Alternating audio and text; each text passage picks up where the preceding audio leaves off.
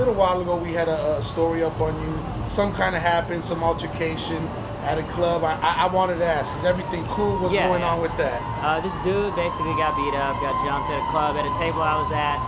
Um, they put my name in it or whatever. Like I think the dude thought it had some money to be had or something. Oh, Is what I heard from my lawyer. And um, so once I got arrested on that, I had like old traffic warrants and I had to do time on that. So I did like three months, and because it's open charges violent, I had to do like three months on traffic stuff. Like I got 160 days, and usually you do like 16. I did like 70 days. Wow. LA County, real LA County, like it's all segregated. I got to run with the woods. so I'm white in there. Hey, you, Like- you got you got to really know all that stuff. Yeah, That's- yeah. I had to learn all that. Shit.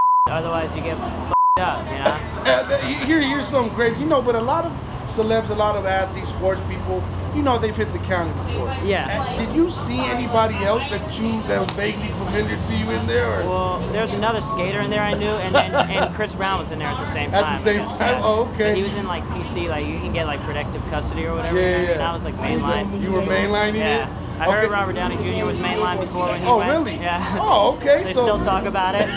So Did- who did, who, did, who did he who did he run with? The Woods. The He's Woods, white. right? You The White. the Okay, Woods, okay. yeah. Just making Yeah. that clear for the audience Yeah, that didn't know Robert Downey Jr. runs with the Woods. He's the Wood.